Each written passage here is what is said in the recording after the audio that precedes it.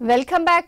YS వివేక హత్య కేసులో నేడు చేపట్టే సిబిఐ దర్యాప్తు అత్యంత కీలకంగా మారనుంది. ఎంపీ అవినాష్ రెడ్డి సిబిఐ ఎదుట హాజరు కానున్నారు. ఆయన అరెస్ట్ తప్పదని సిబిఐ అధికారులు ఇప్పటికే కోర్టుకు తెలిపిన నేపథ్యంలో అవినాష్ విచారణ కార్యక్రమంలో ఎలాంటి పరిణామాలు చోటు చేసుకుంటాయనేది ఆసక్తికరంగా మారింది. వాస్తవానికి మంగళవారమే సిబిఐ అధికారుల ఎదుట విచారణకు ఆయన హాజరు కావాల్సిందే.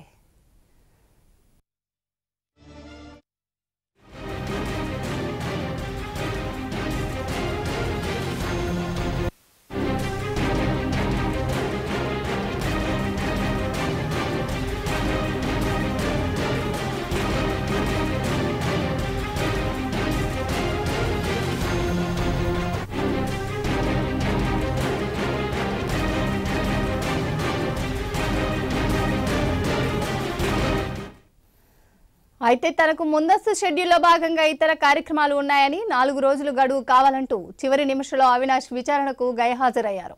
ఆయన విజ్ఞప్తిని పరిగణలోకి తీసుకుంటూనే ఇవాళ ఖచ్చితంగా విచారణకు హాజరు కావాలని సిబిఐ అధికారులు నోటీసులు జారీ చేశారు. పులివెందులోని ఆయన ఇంటికి వెళ్ళి అక్కడున్న వారికి నోటీసు అందజేశారు. ఓవైపు ముందస్తు షెడ్యూల్ కారణంగా విచారణకు హాజరు కాలేనని చెప్పిన అవినాష్ రెడ్డి ఆ మరుసటి రోజే సిబిఐ విచారణ నుంచి రక్షణ కల్పించాలని కోరుతూ సుప్రీంకోర్టును ఆశ్రయించారు. తమ పిటిషన్ను హైకోర్టు వాయిదా వేసింది. ఇంతలోనే సిబిఐ తనను విచారణకు పిలిచింది. సిబిఐ విచారణ నుంచి తమకు రక్షణ కల్పించాలని సుప్రీంకోర్టులో పిటిషన్ దాఖలు చేశారు.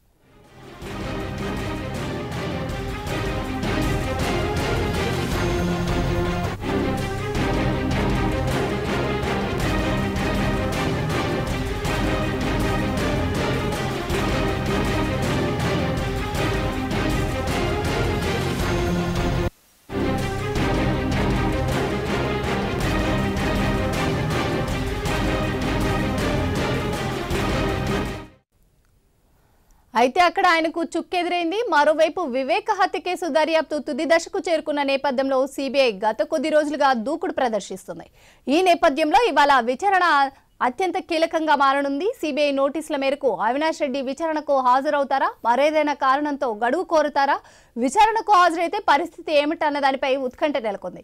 ఇక ఇదే అంశంపై మరింత సమాచారం మా ప్రతినిధి అజయ్ అందిస్తారు. అజయ్ చెప్పండి పూర్తి డీటెయిల్స్ ఏంటి?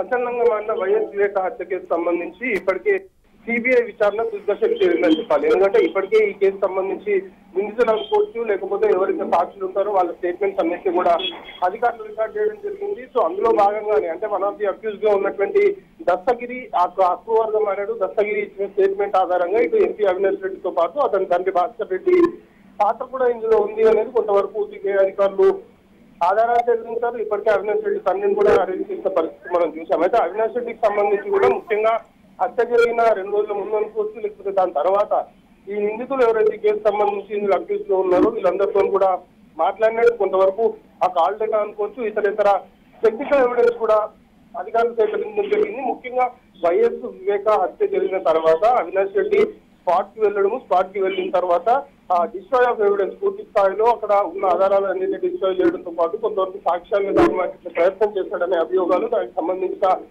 ఆధారాలు కూడా సిబిఐ అధికారులు వస్తున్న పరిస్థితి. అయితే అవినాష్ రెడ్డి ఆ మొన్న విచారణకు హాజరు కావాల్సి ఉంది. అంటే short time of short time of పీరియడ్లో ఆయనని విచారణకు పిలిచారు. సో నేను ఆల్రెడీ నాకు అఫీషియల్గా ఉన్న కొన్ని ప్రోగ్రామ్స్ అనుకోవచ్చు లేకపోతే ఇతర షెడ్యూల్స్ వల్ల నేను హాజరు కాలేను అని చెప్పిన నేపథ్యంలో దానికి సిబిఐ అధికారులు సానుకూలంగానే స్పందించి పంతొమ్మిదో తేదీ విచారణకు హాజరు కావాలి అంటూ మరొక నోటీస్ ఇవ్వడం జరిగింది. అయితే ఇప్పుడు అవినాష్ రెడ్డి హైదరాబాద్ నివాసం వద్దకి వైఎస్ఆర్సీపీ కార్యకర్తలతో పాటు అవినాష్ రెడ్డి అభిమానులు కూడా భారీగా చేరుతున్నారు. అయితే మనకు అందుతున్న ఇన్ఫర్మేషన్ని బట్టి అవినాష్ రెడ్డి ఈ రోజు విచారణకి హాజరయ్యే అవకాశాలు కనబడుతున్నాయి. ఎందుకంటే ఇప్పటికే సుప్రీంకోర్టును కూడా ఆశ్రయించాడు. ముందస్తు బెయిల్ సంబంధించి కొంతవరకు అక్కడ కూడా ఎదురైన పరిస్థితి. అంటే ఇటు సిబిఐ సంబంధించి దర్యాప్తు వేగంగా చేస్తుంది. ఒకవైపు తుష్టశక్ జరిగిన నేపథ్యంలో ఈ రోజు విచారించిన తర్వాత ఎప్పటిలాగానే స్టేట్మెంట్ రికార్డ్ చేసి అవినాష్ రెడ్డిని పంపించి వేస్తారా లేకపోతే అరెస్ట్ చేస్తారా? ఎందుకంటే వన్ సిక్స్టీ సిఆర్పిసి కింద అవినాష్ రెడ్డికి నోటీసులు ఇవ్వడం జరిగింది విచారణకు హాజరు కావాలని చెప్పింది. వన్ సిక్స్టీ సిఆర్పిసి కింద